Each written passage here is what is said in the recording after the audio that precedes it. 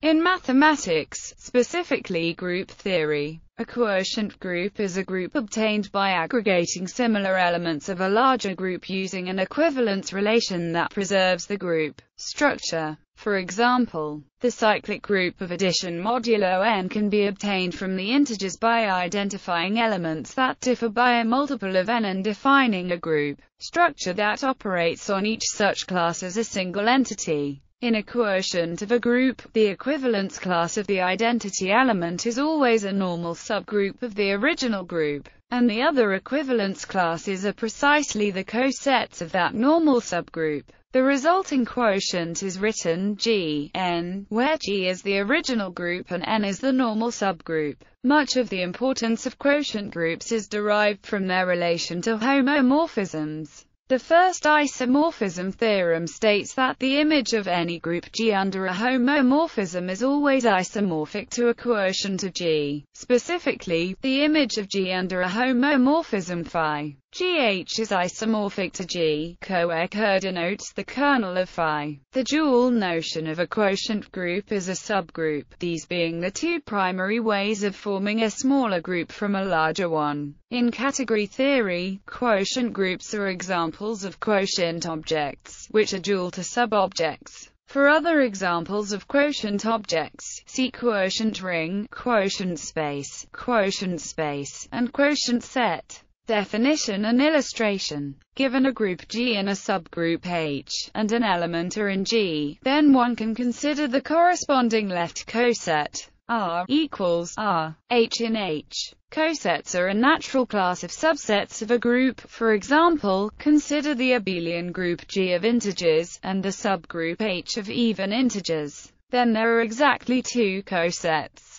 0 plus h, which are the even integers, and 1 plus h, which are the odd integers. For a general subgroup H, it is desirable to define a compatible group operation on the set of all possible cosets R in G. This is possible exactly when H is a normal subgroup, as we will see below. A subgroup N of a group G is normal if and only if the coset equality N equals NA holds for all R in G. A normal subgroup of G is denoted NG. Definition Let N be a normal subgroup of a group G. We define the set G, N to be the set of all left cosets of N in G, i.e., G, N equals N. A G. Define an operation on G, n as follows. For each n and bn in G, n, the product of n and bn is. This defines an operation on G, n, because we have the following equalities of subsets of G, equals n equals n equals n n equals n. Here we have used in an important way that n is a normal subgroup.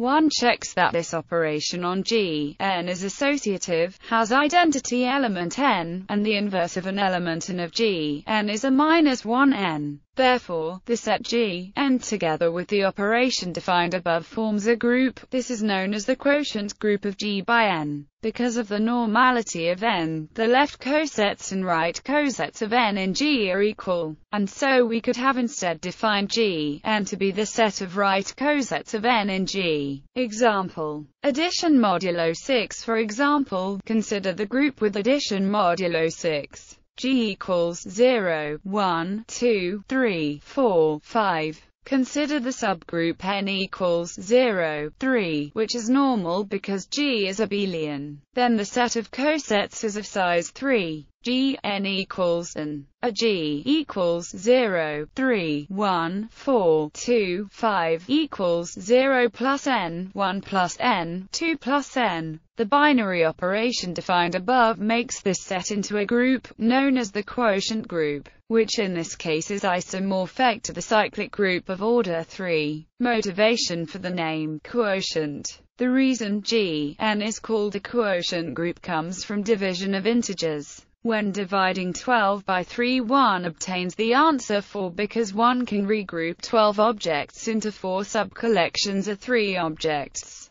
The quotient group is the same idea. However we end up with a group for a final answer instead of a number because groups have more structure than an arbitrary collection of objects. To elaborate, when looking at G, N with N a normal subgroup of G, the group structure is used to form a natural regrouping. These are the cosets of N in G. Because we started with a group and normal subgroup, the final quotient contains more information than just the number of cosets, but instead has a group structure itself. Examples Consider the group of integers z and the subgroup 2z consisting of all even integers. This is a normal subgroup, because Z is abelian. There are only two cosets, the set of even integers and the set of odd integers. Therefore, the quotient group Z, 2Z is the cyclic group with two elements. This quotient group is isomorphic with the set 0, 1, with addition modulo 2. Informally, it is sometimes said that Z, 2Z equals the set 0, 1, with addition modulo 2. A slight generalization of the last example. Once again consider the group of integers z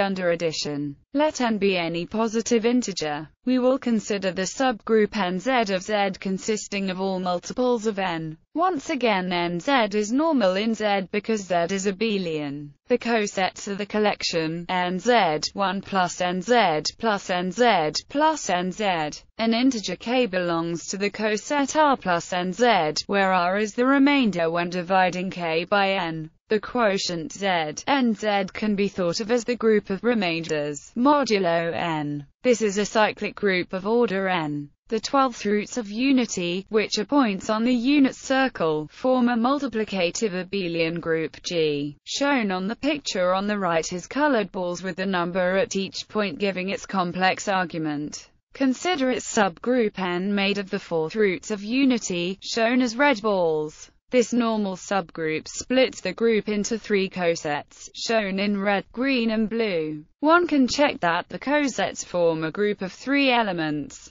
Thus, the quotient group G, N is the group of three colors, which turns out to be the cyclic group with three elements. Consider the group of real numbers R under addition, and the subgroup Z of integers. The cosets of Zn are all sets of the former plus Z, with 0 or less than 1 a real number. Adding such cosets is done by adding the corresponding real numbers, and subtracting 1 if the result is greater than or equal to 1. The quotient group R, Z is isomorphic to the circle group S1, the group of complex numbers of absolute value 1 under multiplication, or correspondingly, the group of rotations in 2D about the origin, i.e., the special orthogonal group so. An isomorphism is given by F equals exp. If G is the group of invertible 3 times 3 real matrices, and N is the subgroup of 3 times 3 real matrices with determinant 1, then N is normal in G. The cosets of N are the sets of matrices with a given determinant, and, hence G, N is isomorphic to the multiplicative group of non-zero real numbers.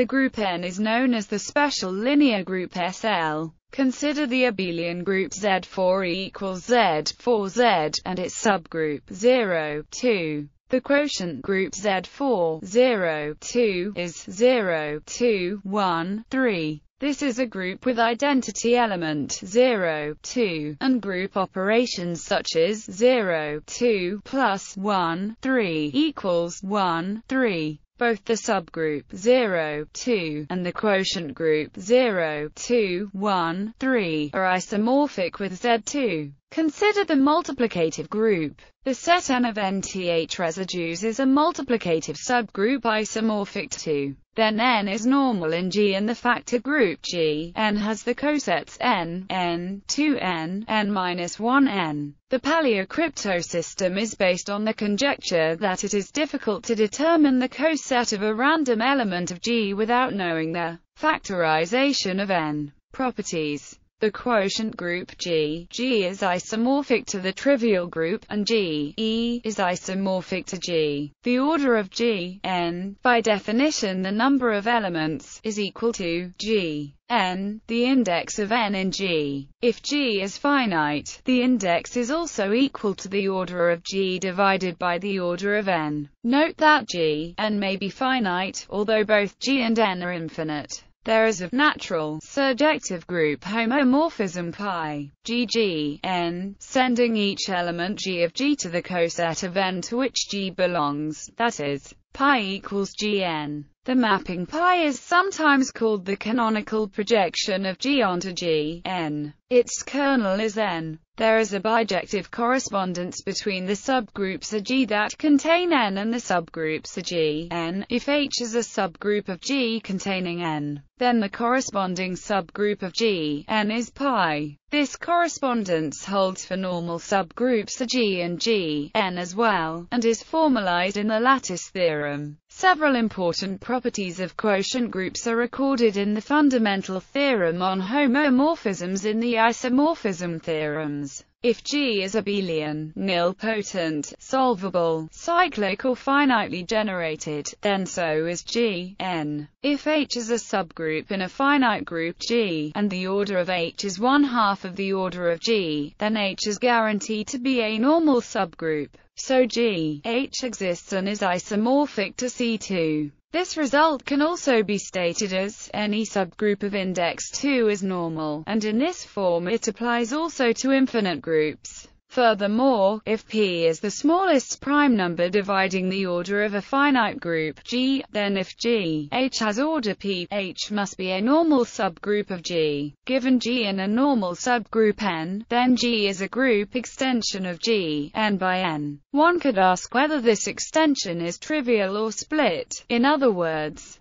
one could ask whether G is a direct product or semi-direct product of N and G, N. This is a special case of the extension problem. An example where the extension is not split is as follows. Let G equals Z4 equals 0, 1, 2, 3, and N equals 0, 2, which is isomorphic to Z2. Then G, N is also isomorphic to Z2. But Z2 has only the trivial automorphism, so the only semi-direct product of N and G, N is the direct product. Since Z4 is different from Z2 times Z2, we conclude that G is not a semi-direct product of N and G, N, quotients of Lie groups. If G is a Lie group and N is a normal Lie subgroup of G, the quotient G, N is also a Lie group. In this case, the original group G has the structure of a fiber bundle, with base space G, N and fiber N. For a non-normal Lie subgroup N, the space G, N of left cosets is not a group, but simply a differentiable manifold on which G acts. The result is known as a homogeneous space.